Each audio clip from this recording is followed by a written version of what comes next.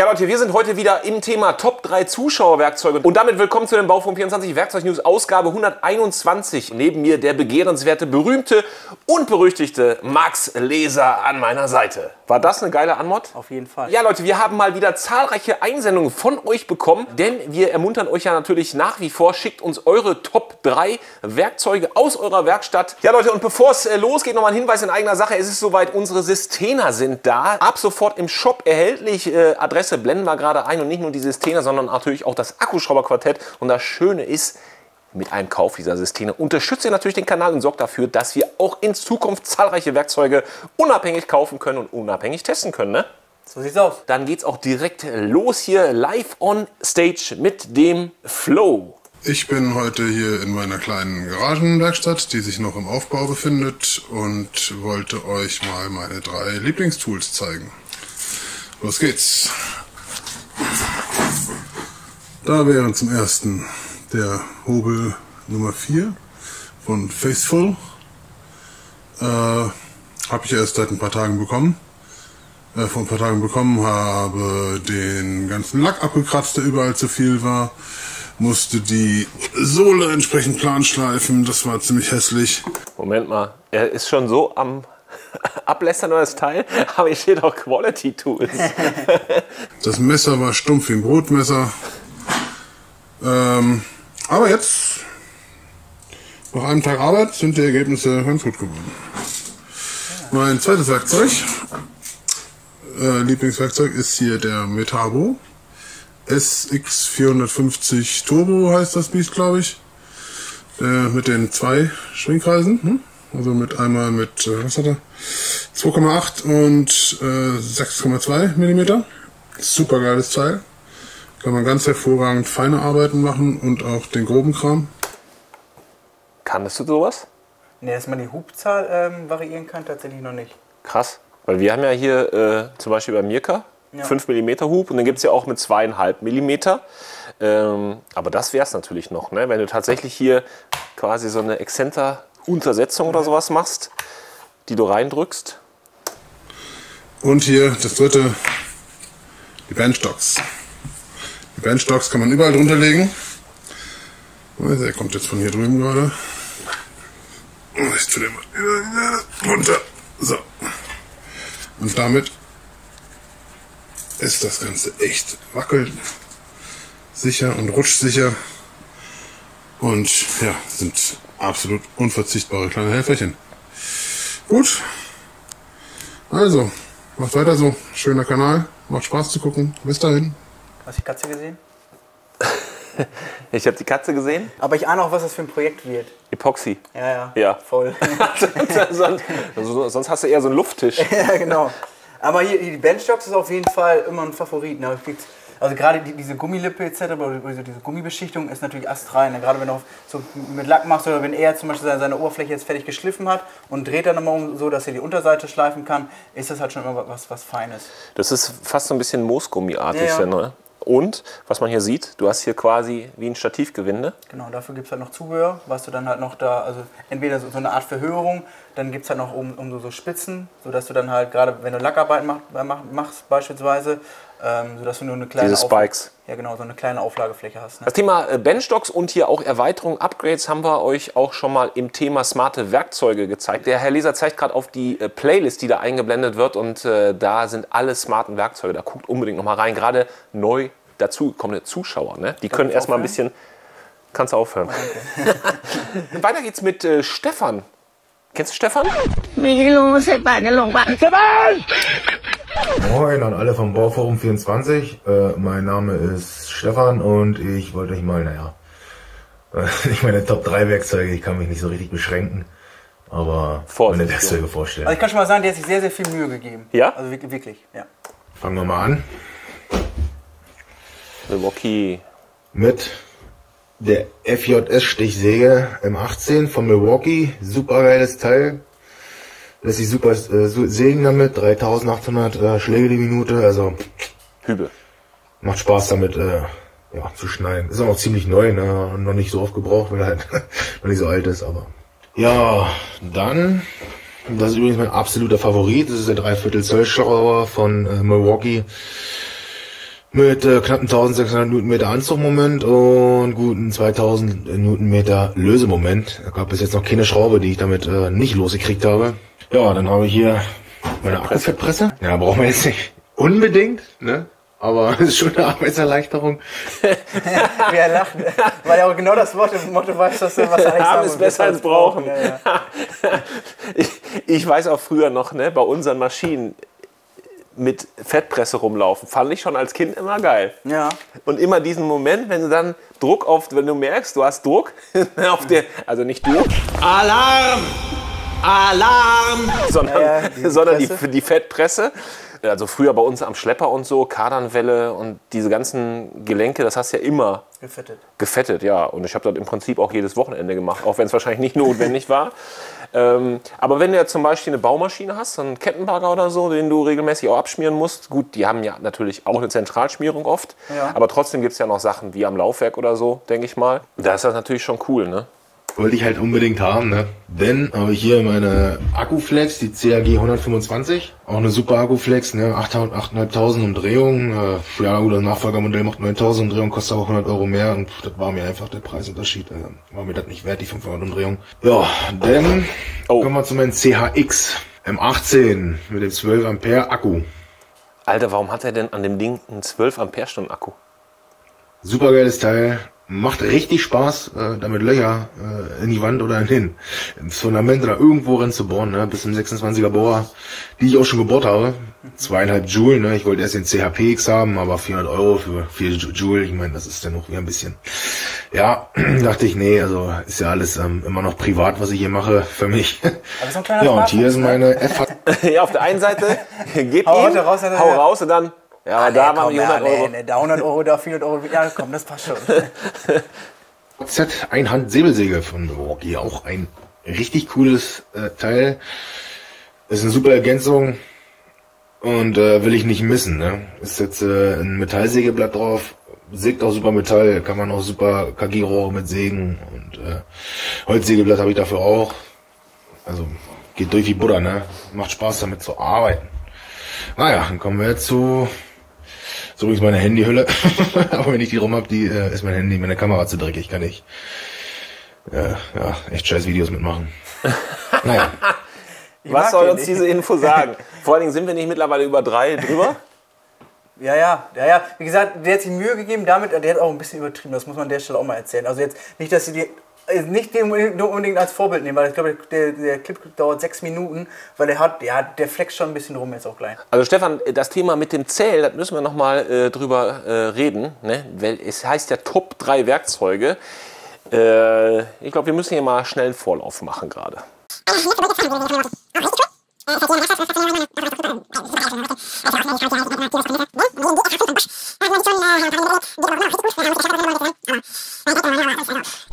Das war's von mir.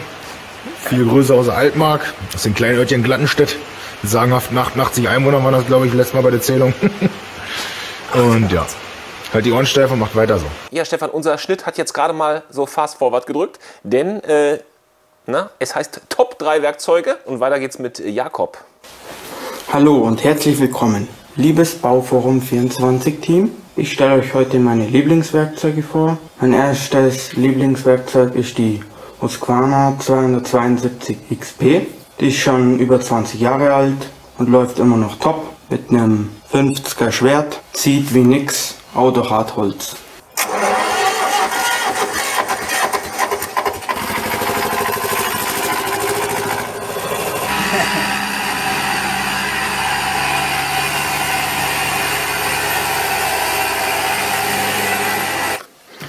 Ja, und jetzt zeige ich euch noch meine zweite Werkstatt.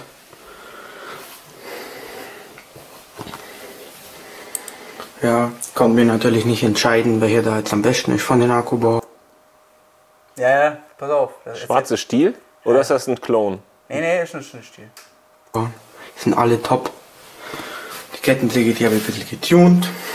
Und ja. Also macht weiter so, liebes Bauform 24 Team. Schöne Grüße aus Oberstdorf aus dem Allgäu.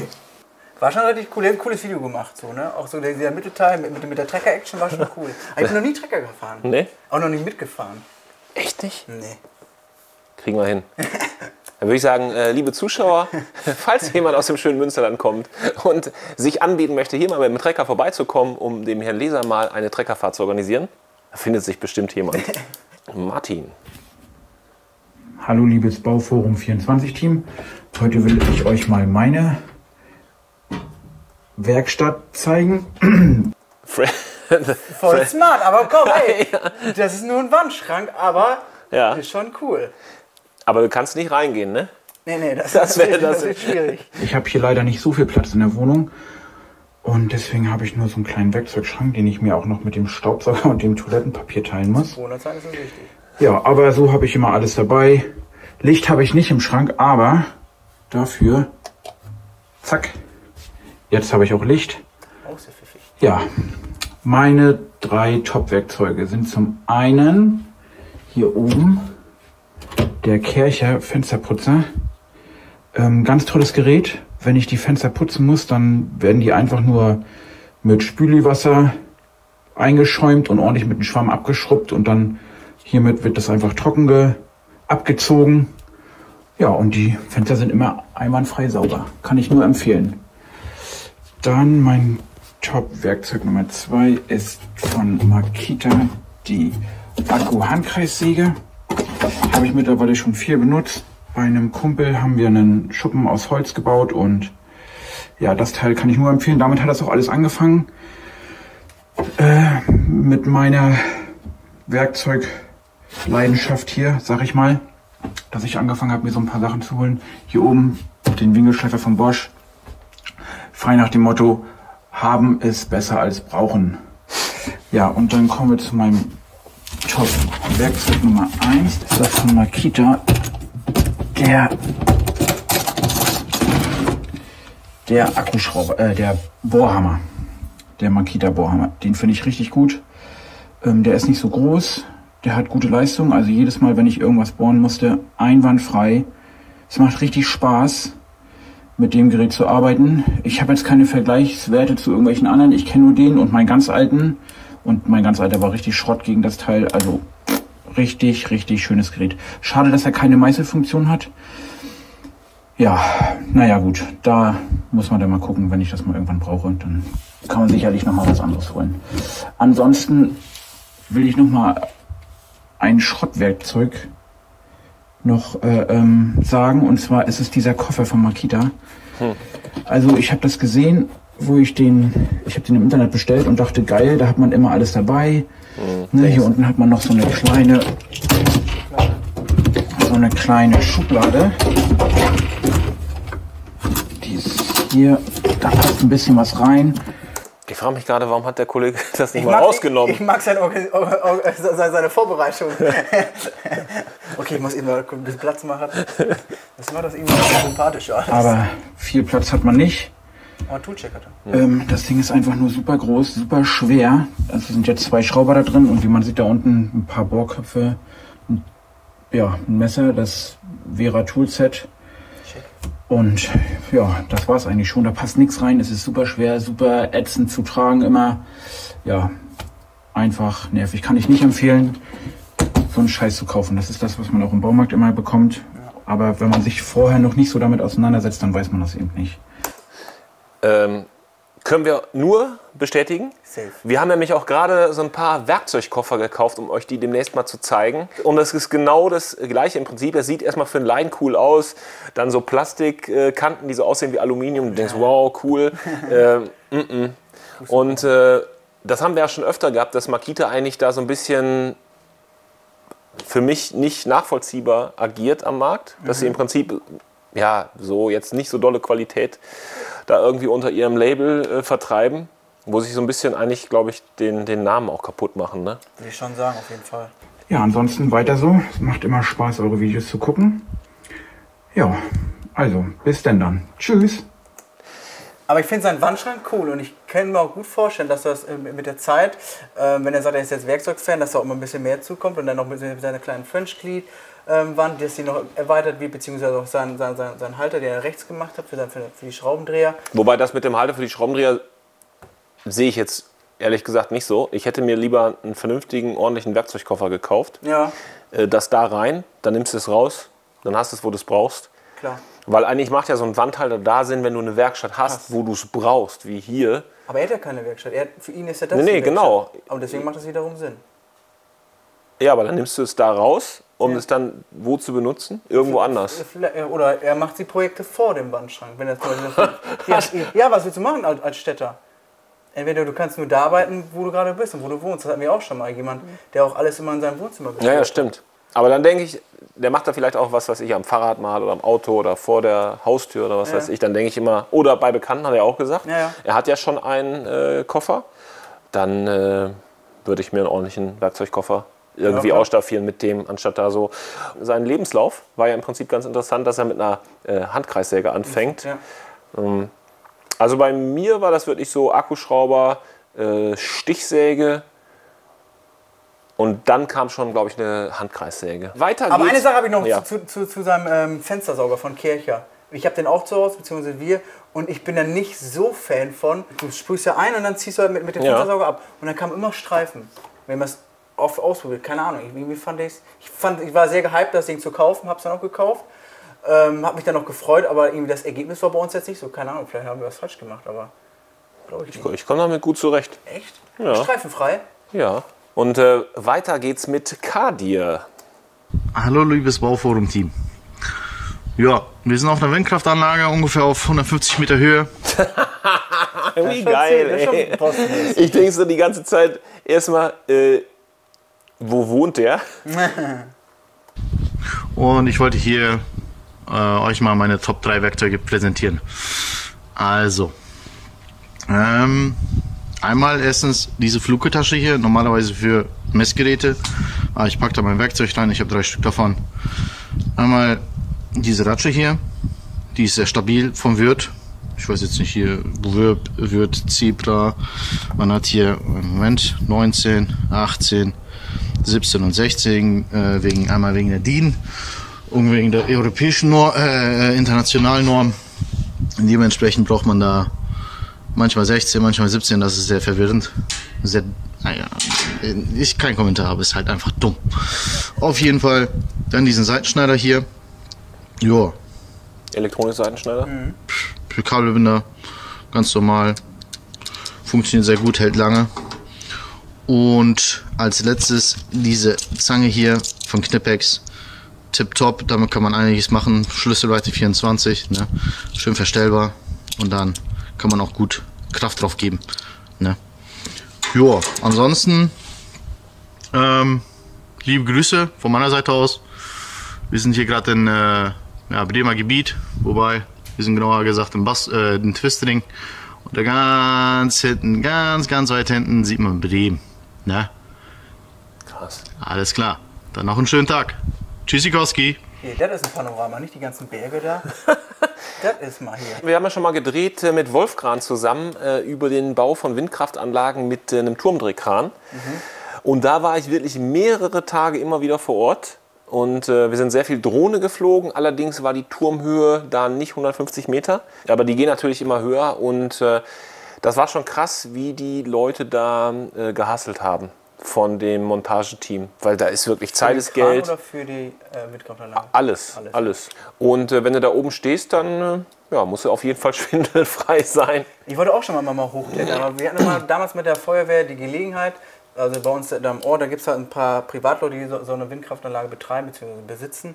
Aber es hat sich die, die, die Gelegenheit nie ergeben, weil das ist schon ganz geil, du kletterst ja innen hoch. Es gibt ja keinen Fahrstuhl, ne? Und du kletterst halt innen hoch mit äh, so, so einer Leiter. Es gibt, glaube ich, welche mit Fahrstuhl sogar.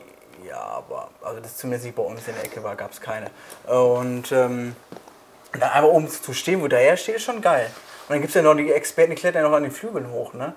Und reparieren, reparieren ja dann noch die Flügel gegebenenfalls. Und fliegen das vorher mit Drohnen ab, ist ja voll das spannende Thema. Ja, auf jeden Fall. Ich glaube, die verdienen auch gar nicht so schlecht, die Monteure. Ne, 12 Euro die Stunde. Nee, glaube ich, verdienen auch nicht mehr. Was äh, Karl hier gesagt hat, ist äh, im Prinzip diese Multischlüssel.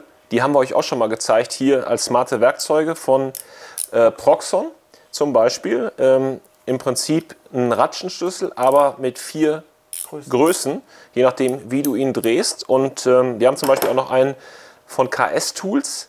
Der hat hier noch ein Gelenk auch eine Ratsche. Und äh, Größen 10, 13, 17 und 19 jeweils haben, haben sie beide. Ähm, ich finde das ein cooles Teil und für mich gehört das mittlerweile auch in jeden Werkzeugkasten, weil du hast nochmal einen Ratschenschlüssel und du hast einfach nochmal auch vier Größen dabei. Ja, ja. Wie immer verlinken wir auch diese Werkzeuge unten in der Videobeschreibung für euch. Und ähm, den ähm, Zangenschlüssel können wir natürlich auch klar. wärmstens empfehlen. Den Seitenschneider, den er hatte, war eigentlich ja ein klassischer Elektronik-Seitenschneider. Den sehe ich eigentlich gar nicht so für so gröbere Arbeiten. Aber er ist natürlich relativ kompakt. Ne?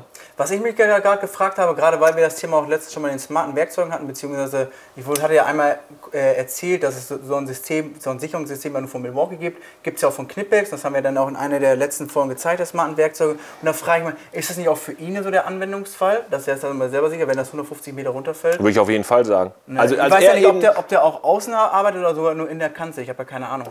Aber ähm, das als, er eben, als er eben den Schlüssel da abgelegt hat, dachte ich, oh ja, Gott, ich, ich ja auch nicht so. ey. wo legst du den Schlüssel hin? Und ich glaube, da ist es ja auch so ein klassischer Anwendungsfall. Und das war auch ganz cool, weil er braucht ja, wenn er selber zum Beispiel das hochklettern muss, ich weiß ja nicht, ob der da einen Fahrstuhl hat, aber du musst ja, willst ja nicht so viel mitschleppen an Werkzeugen. Deswegen ist es halt ganz cool, dass du halt so ähm, smarte Werkzeuge dabei hast, wo halt einfach mehrere Funktionen in einem drin sind, sodass du halt mehrere Aufgabenfelder halt wirklich abschließen kannst. Wenn er sagt, das ist halt immer so, ein- so ein Getrickse mit den ganzen Normen und den Schlüsselweiten, ist das natürlich ideal. Gerade der Zangenschlüssel und seine, ähm, diesen Microspeeder, beziehungsweise den 4 in 1 von Würth. Aber haben es besser als brauchen und deswegen äh, haut der Leser jetzt mal einen raus, ne? Denn äh, kleinster Werkzeugkoffer der Welt kennt ihr schon. Unseren Sistena hier in der Special Edition. Mach mal auf, was drin ist. Tada! Genau, ein Rapidaptor und eine kleine Vera Mini-Ratsche. Damit seid ihr im Prinzip für 99,9% aller auftretenden Eventualitäten in eurem Alltag und äh, in eurem Leben gerüstet. Gerüstet. Getreu dem Motto, ihr kommentiert, Brockschmidt spendiert, haut mal rein in die Tasten unter dem Hashtag Werkzeug. Äh, euren Favoriten aus diesen Top 3 Zuschauerwerkzeugen, eure Gefühlslage zur Werkzeugwelt und äh, zu uns, zu was auch immer, was ihr uns schon immer sagen wollt. Haut rein.